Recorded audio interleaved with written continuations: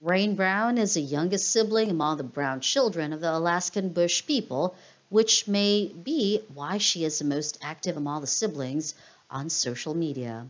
A lot of people follow her in every platform she's present, so her every move and post definitely generates a lot of curiosity and interest among the fans. It is exactly why her most recent post created a buzz of confusion and chaos among the fans.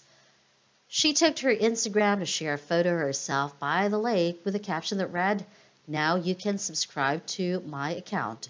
I'm still figuring it out, but there will be exclusive content coming soon. Now, fans who follow her every move know that she has started her own Cameo account since the start of January, which is what she could have been promoting in this post here.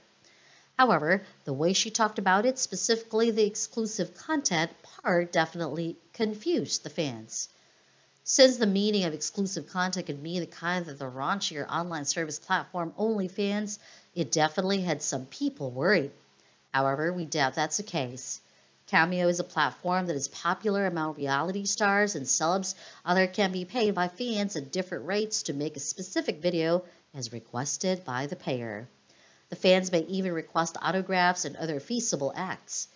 Rain Brown joined the platform at the same time as her brothers, Bear and Gabe Brown. She charges $40 per video just like Gabe. is a little more expensive than Bear, who charges only $35. So this is what we mean by exclusive content. It was not just her caption that had fans confused and excited. Some fans also jumped the gun about her looks and particularly pointed out how she seemed to have gained quite a lot of weight. Since she was also growing her hair long again, we do agree that she looked healthier and identical to her older sister, Snowbird Brown. Neither we nor the fans were trying to be rude, of course. They just assumed that Rain Brown could perhaps be pregnant because of the weight gain. Many were even forthcoming and asked if she was welcoming a baby, and some were even rude. One specific mean comment read, You have really put on weight. It can lead to a lot of health problems. While another took it even a step further by saying that she was only beautiful when slender. We particularly think there's nothing wrong with Rain gaining a little bit of weight and she looks just as beautiful as always. While a part of us will be excited to announce she's pregnant, it won't be prematurely like this. There are absolutely no other signs that she is pregnant.